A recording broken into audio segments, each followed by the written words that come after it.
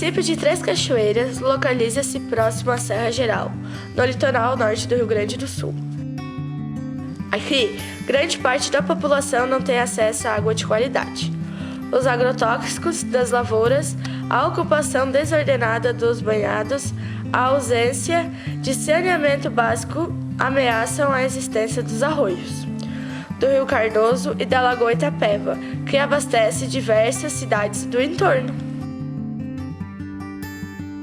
A comunidade Santo Anjo da Guarda, onde fica a Escola Baréia, é abastecida por um sistema alternativo de água comunitária, gerenciado pela Associação de Moradores Local. Eu sou Renato Cardoso Leal, eh, sou agricultor ecologista aqui do Santo Anjo da Guarda, onde faz parte, faço parte da Associação de Moradores, onde a gente traz um trabalho de comunidade, né? É, de graça, que não se cobra nada, se cuida de uma água. É uma água completamente certa. E é em comunidade. A água mais barata do Brasil. E o projeto e a escola Bareia está fazendo um projeto a cisterna, que é para. Hoje a gente está usando mal a água, está desperdiçando a água. Uma benção, a água pura, até mineral essa água. E está se desperdiçando ela. Então, o Bareia está fazendo um projeto para Hoje a gente tem lavado até caminhão com essa água, carro, e, usado em verdura, isso aqui ainda é uma zona rural. Né? Então, esse é o nosso trabalho aqui como escola, como associação. A gente vê que teria que ser mais aproveitado. Ensinar o pessoal, o, o nosso povo, a nossa comunidade a usar essa água, né?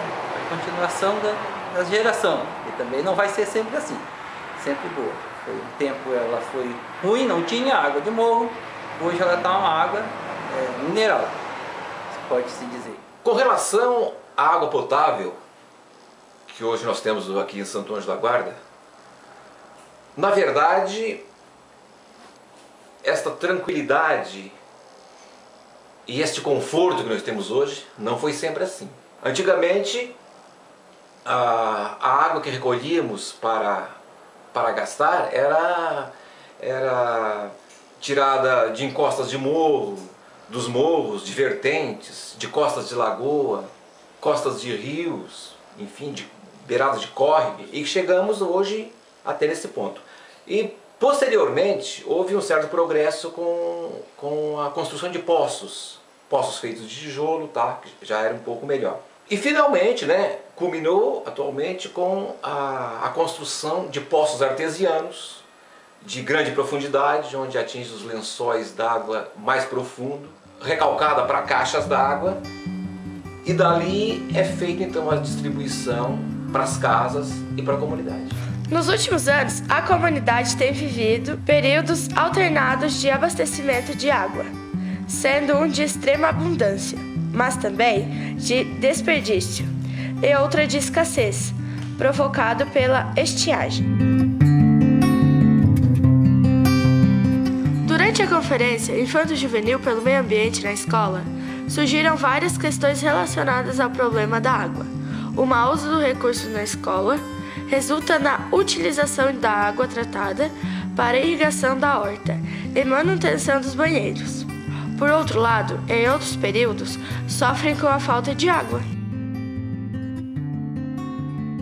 Durante a conferência Infanto Juvenil na escola, a gente observou que há vários problemas na escola em relação à água? Durante a conferência nacional na nossa escola, a gente notou dois problemas em desperdício de água: o banheiro e a horta. O banheiro porque a gente tem um encanamento velho que, que ajuda no vazamento e a, e a gente usa água potável para a descarga e a horta a gente usa água potável para irrigar as plantas. A conferência nacional na nossa escola foi decidido construir uma cisterna para economizar a água potável que a gente gastava para irrigar a horta, para na descarga dos banheiros. Assim foi decidido fazer a cisterna, que cai água na, na calha, né? E daí vai enchendo aquela caixa de água. Quando enche, a água pode ser usada na irrigação da horta e também na descarga do banheiro e nas despesas gerais da escola. E aqui é o lugar que vai ser construída a cisterna. A captação e armazenamento da água das chuvas surge como uma opção para auxiliar no atendimento da demanda, principalmente em períodos de estiagem. Também é preciso salientar que a sua utilização na limpeza em geral e irrigação, por exemplo, permite poupar até 50% da água potável disponível.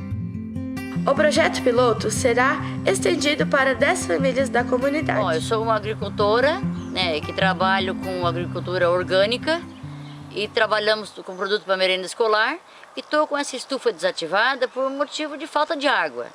Porque eu tenho água comunitária e a gente tem que economizar, que é água potável. E com a captação da água da chuva, eu vou economizar água boa e também a questão financeira. Porque eu vou poder produzir com a água mais barata. O objetivo nosso é produzir uh, verduras orgânicas, mas com custo mais barato para que saia também mais em conta. A gente entrega merenda escolar, né? Então até atualmente estou plantando na rua porque eu, eu gasto menos água. A chuva me ajuda, só que a estufa produz bem melhor a verdura. Então por isso que eu gostaria de adquirir essa cisterna. Já tentei fazer, tive fazer os orçamentos, mas para nós hoje está difícil a situação. Então não tem como como eu, eu a fazer esse sistema agora. E através desse projeto talvez eu consiga e que eu vou ajudar na, na escola e na comunidade também. A escola hoje, mais do que nunca, ela tem que exercer a sua função social. Todo conhecimento construído na sala de aula, ele tem que ter significado para o aluno, para a família, para a comunidade. E o projeto Fluir, no momento em que o seu principal objetivo é construir uma cisterna nos arredores da escola. E essa cisterna vai ser monitorada pelos alunos, o, andamento, a construção, o passo a passo, tudo isso vai ser transformado num, num, num vídeo educativo. Esse vídeo educativo vai chegar nas, nas famílias uh, da, dos alunos, ele vai chegar na comunidade e essa ideia, essa experiência feita na escola, ela vai se multiplicar com certeza em toda a comunidade. E esse é o objetivo principal deste trabalho.